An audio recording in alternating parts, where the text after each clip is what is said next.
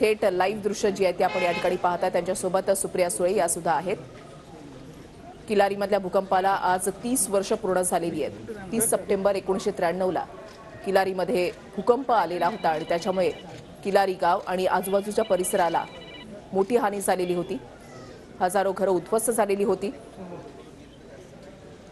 अनेकांचे जीव गेलेले होते.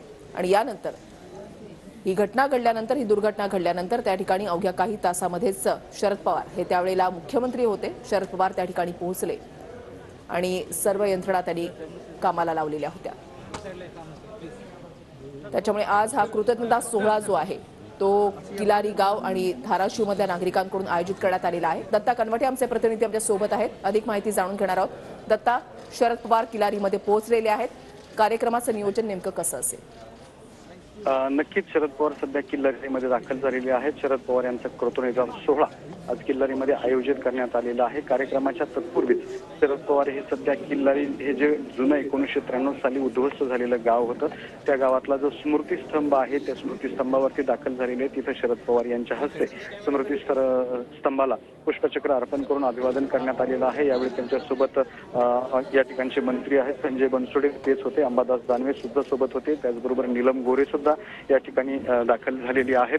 आणि इतरही नेते आणि मंडळी सुद्धा या ठिकाणी सध्या दाखल झालेली आहेत आणि त्यांच्या वतीनं स्मृती स्तंभाला अभिवादन सुद्धा या ठिकाणी करण्यात आलेलं आहे. आणि हे अभिवादन झाल्यानंतर शरद पवार हे कृतज्ञता सोहळा कार्यक्रमाला त्या ठिकाणी दाखल होणार आहेत. आणि शरद पवारांनी भूकंपाच्या काळामध्ये जे काही तुलनीय कामगिरी केली त्याची कृतज्ञता म्हणून किल्लारीकर नागरिक आणि इतरांच्या वतीने या कृतज्ञता कार्यक्रमाचं आयोजन करण्यात आलेलं आहे. आणि त्याच कार्यक्रमाला शरद पवार सध्या उपस्थिती लावणार आहेत. आपण बघू शकताय की हा पुष्पचक्र अर्पण करून सध्या शरद पवार हे कार्यक्रमाच्या दिशेने निघालेले आहेत.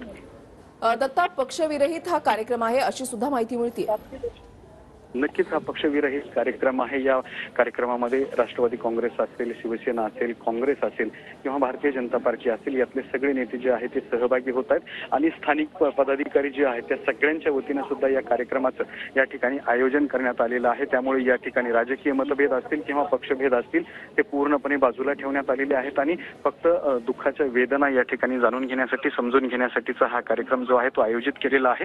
आणि त्याच स्मृतीस्तंभाला या ठिकाणी शरद पवार यांच्या वतीने अभिवादन सुद्धा करण्यात आलेलं आहे आणि काही वेळात कार्यक्रमाला सुरुवात होईल. नक्कीच दत्ता तुम्ही असंच आपल्यासोबत राहा. तरी थेट दृश्य किल्लारीमधून आपण पाहताय. तीस सप्टेंबर एकोणीशे त्र्याण्णवच्या भूकंपानंतर तत्कालीन मुख्यमंत्री शरद पवार यांनी तत्काळ घटनास्थळी येऊन मदत कार्य जे आहे ते सुरू केलेलं होतं. आणि त्यांनी केलेल्या मदतीतून उतराई होण्यासाठी लातूर आणि धाराशिव जिल्ह्यामधील भूकंपग्रस्तांच्या वती- वतीनं आज कृतज्ञता सोहळा जो आहे तो आयोजित करण्यात आलेला आहे. या भूकंपामध्ये दहा हजारांच्या जवळपास लोकांनी आपले प्राण गमावलेले होते. लाखो लोक बेघर झाले. अनेक मुलं अनाथ झाली आणि अनेकांनी आपले आई वडील पती पत्नी आजी आजोबा मुलं गमावली आणि काही क्षणात अगदी होत्याचं नव्हतं झालेलं होतं. आणि अशा परिस्थितीमध्ये भूकंपग्रस्त भागातील जनतेला आधार देण्यासाठी अवघ्या दोन तासातच तेव्हा शरद पवार जे ते धावून आलेले होते.